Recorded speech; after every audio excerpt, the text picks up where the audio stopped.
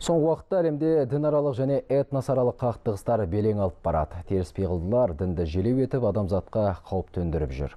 Жаһан жұртын алаңдатып отырған осы сынды өзекті мәселелер бүгін Астанада өтіп жатқан әлемдік және дәстүрлі діндер көшбасшыларының алтын съезінде талқыланды. Әріптесім Әсел Тұмашқызы баяндайды. Съездің екінші күні мәртебелі меймандар таңсәріден бейбітшілік қабырғасы монументіне ат басын тіреді. Бұл түрлі конфессия өкілдерінің ядролық қару-жарақтан бас тартқан қазақ еліне жаһандық қауіпсіздікті нығайтуға қосқан үлесі үшін құрметі.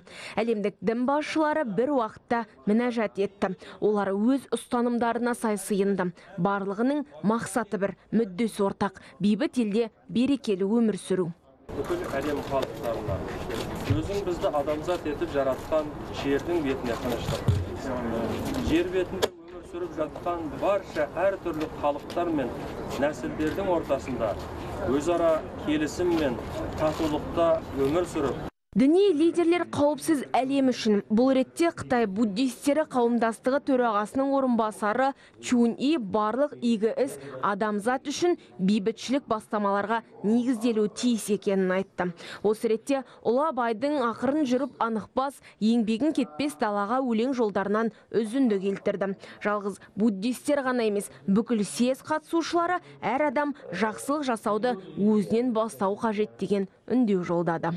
Общество должно понимать что қазір адамзат жаһандық қауіптерге қарсы тұру жөніндегі бірыңғай және жалпыға ортақ төтеп беру кезеңінде тұр. Экстремизм мен терроризмге қарсы тұру бүкіл халықаралық қоғамдастықтар мен мемлекеттерге тиесілі іс. Мұндай мәселелерді шешуде діннің рөлі мен маңызы зор. Сондықтан осында жиналған түрлі конфессия өкілі өз елдерінде бозторғай жұмыртқалаған заманда өмір сүру үшін белсенді жұмыс жүргізу қажеттігін қаперге салды. Бұл ретте қазақ елінің тәжірибесі жаһан жұртына үлгі.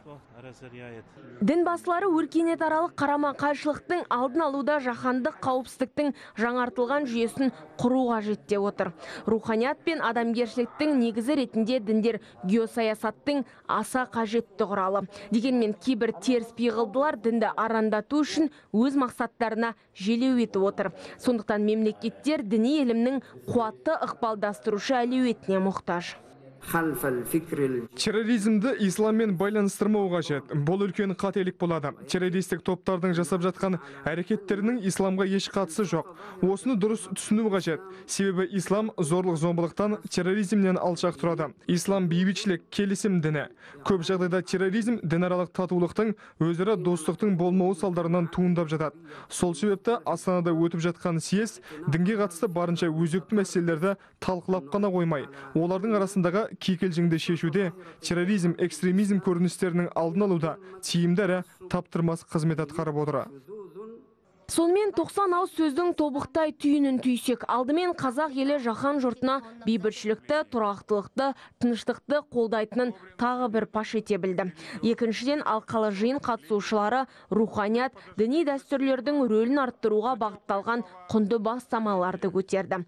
Нәтижесінде қорытынды декларациясы қабылданды. Енді осы шараның басы қасында болған әрбір адам съезде айтылған өзекті ойларды жүйелі жүзеге асыруы тиіс.